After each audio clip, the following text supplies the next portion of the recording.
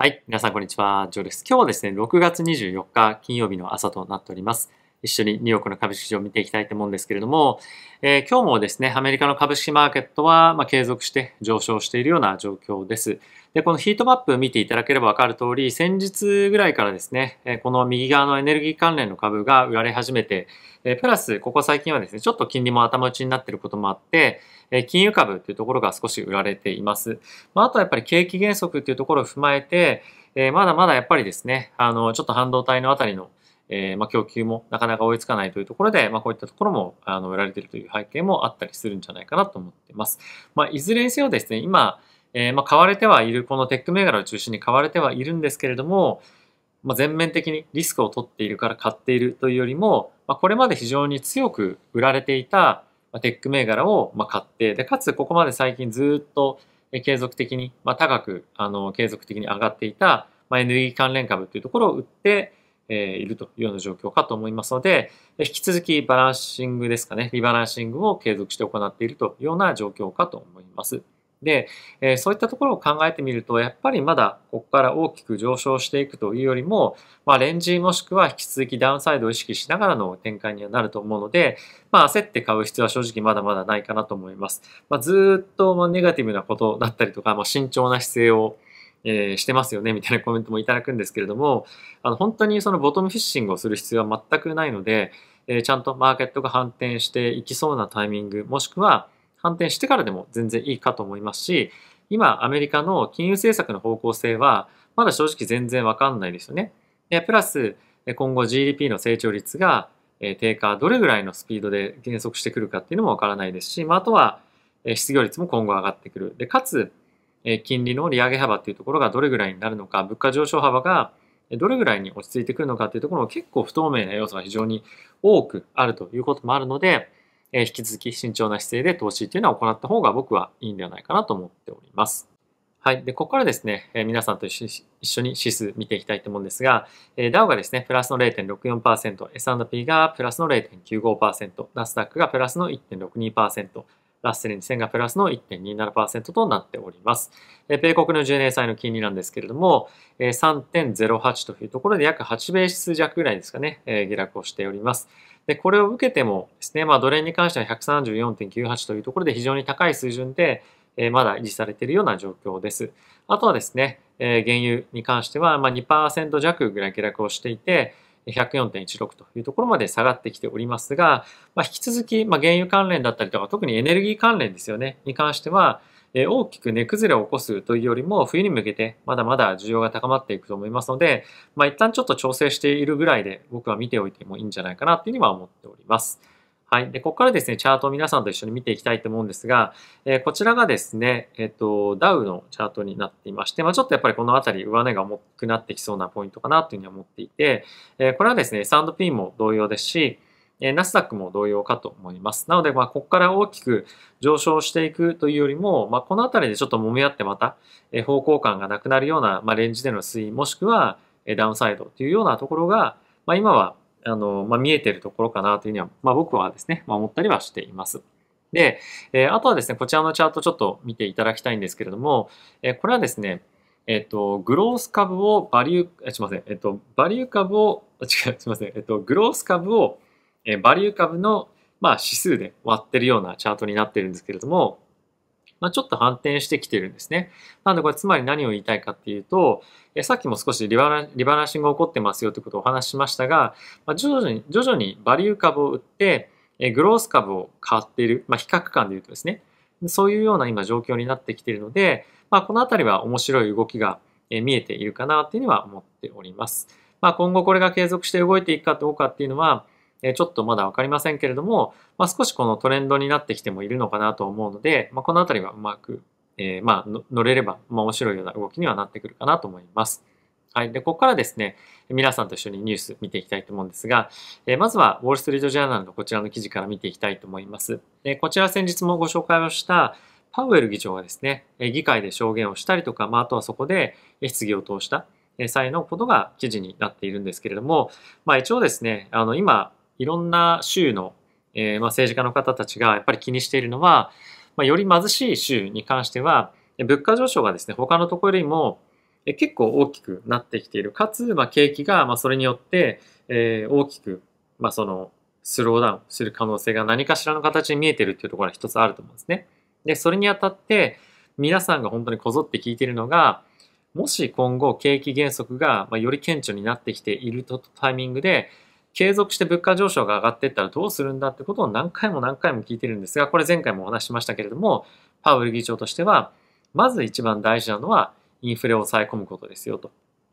でなければ、より貧困層もしくはその低所得者層と言われている方々は、もともとやっぱり持ってるお金のボリュームが少ないので、まあ、よりですね、物価上昇の影響を受けやすいような形になるので、まあ、そこはしっかりと抑えておかなければ、まあ、最終的に苦しくなるのは、まあ、そういった国民の中でも低所得者層なので、このあたりは明確に、えー、そこを優先にやっていくということが発言をされていました。まあ、あとは、えー、このあたりはですね、非常に毎回毎回同じような議論が行われてはいるので、目新しいものはないんですけれども、まあ、やはりあのハードランディングの可能性が高まってきているというところは、我々としても注意をしておきたい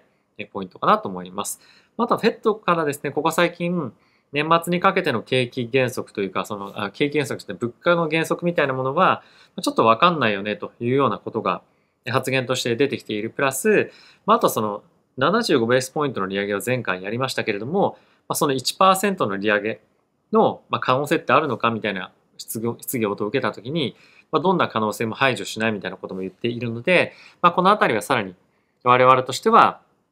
何かしらのサプライズになるようなま金融政策の動きみたいなものは、まあ、なきにしもあらずかなと思うので、まあ、そういったところも含めてあの見ておきたいかなというのは思っております。はい。で続いてこちらなんですけれども、えー、現在ですね、ウォーレン・バフェットさんが引き続き好んで買っている、まあ、あの、原油関連株なんですけれども、この度改めて、えオキシデンタル・ペトロリアムというですね、まあ、会社を500 million分の追加購入をしたということが発表されていました。で、えこの会社以外にですね、えウォーレン・バフェットさん率いるバークシャーハウズウェイなんですけれども、えシェブロンの株ですかね、も持っていたりとか、結構本当に大きく、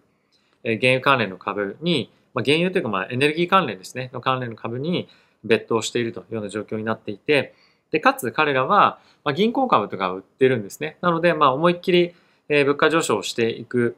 えー、まあ、そういったシナリオに、まあ、かけているような状況になっていて、で、かつ、ちょっと前、まだ持ってると思うんですけれども、日本の商社関連株でも結構買っていたりはするので、まあ、このあたりが引き続き注目されるようなセクターになることは、間違いないのかなというのは思っております。はい。で、続いてなんですけれども、えー、JP モルガンのこれ発表というか、まあ、予想がですね、えー、また出てきているんですが、まあ、年末にかけて、まあ、あの今年の中旬から年末にかけて、物価上昇率がある程度少しスローダウンしてくるということを見越して、そこに向けてですね、JP モルガンは S&P の価格が、まあ、価格というか、まあ、水準が4800ぐらいまで上がっていくということを、えー、予想をしております。で、それによって、まあ、史上最高高値を更新していくということを予想しているんですが、まかなり楽観的だなと正直僕は思いました。えさっきも言った通り、えかなり多くの不安定要素、不確定要素がマーケットにはまだそもそもあると。でそんな中なんですけれども、たとえ物価上昇率が下がったとしても、緩やかになったとしても、えー、それはフェットが利上げをやめるというような意味ではないですし、えすぐにでも、え利下げに転じるってこともないですし、まだまだあのそれだけで判断できないと思うんですね。なので、こうなったら絶対株価が上がるみたいなものっていうのは今あまりシナリオとしてちょっと正直考えられなくてまずはやっぱりそのダウンサイドがどこまであるかっていうのを確認するっていうのがまああの一つやらなければいけないというか投資をする上で一つ判断したい材料かなと思います。でやっぱりおそらく今後例えば、え、物価上昇が落ち着いたらまた別のところに視点がいってその別のところに行った視点がまた別のところに行ってみたいな感じでどんどんどんどん変わってくると思うんですね。で、それはある程度、経済がスローダウンして、フェットが何かしらの形でマーケットをですね、まあ、助けるみたいな感じの状況にならない限り、そんなに簡単にですね、株式マーケット反転する、まあ、トレンドとして反転するみたいなことは起こらないと思うので、まあ、あまりその今え、楽観視、楽観的にマーケットを見るタイミングでは僕はないのかなっていうには思ったりはしています。はい。で、まあそんな中なんですけれども、えまたまた JP モルガンが、まあ、現在、リテールインベスター、いわゆるその個人投資家ですね、が株価をですね、あの株価というか株式を売り始めてますということを言っていて、歴史的に見てもですね、まあ、イメージっていうのもあると思うんですけれども、個人投資家が買うタイミングは、まあ、結構ピークに近くて、個人投資家が売るタイミングはボトムに近いみたいな感じの、まあ、イメージだったりとか言われがやっぱあると思うんですけれども、まあ、いよいよそろそろそこが近いんじゃないかっていうようなことを、まあ、言い出してますと。まあ、ちょっと嫌なこと言うなって感じではあるんですけれども、まあ、今、えー、まあちょっと下の方にチャートがあるんですが、え、こちらのチャートをですね、まあちょっと拡大してみますけれども、この右下のところにですね、少しバーチャートがビヨーンと伸びてるんですが、まあこれが、え個人投資家が今売りに転じているというようなことを表しているような部分になっております。えただし、まあ、これも一つのサインではあるかもしれないんですけれども、我々として見なければいけないポイントに関しては、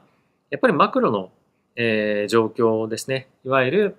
え GDP の成長率だったりとか、えま失業率だったりとか、まあ、そういったところを反映しての、えま金利の政策ですね。まあ、あとは一つ非常に重要なポイントとして、物価上昇率っていうのがあると思うんですけれども、まあ、それらの、えーまあ、非常に注目度がものすごくやっぱ高いので、個人投資家がこういう動きをしてるから、まあそろそろそこは近いね、どうだとかっていうようなことよりも、もっと本当に重要なことがあるので、まあこういったところに着目するのはいいかと思うんですけれども、まあ、これを最終的な売り買いの判断材料にするっていうのは、まああんまり良くないかななんていうことは考えたりはしていました。ただしまあ一つの観点としては面白いのかなと思ったので、ご紹介をさせていただきました。はい。ということで皆さんいかがでしたでしょうか？マーケットまだまだ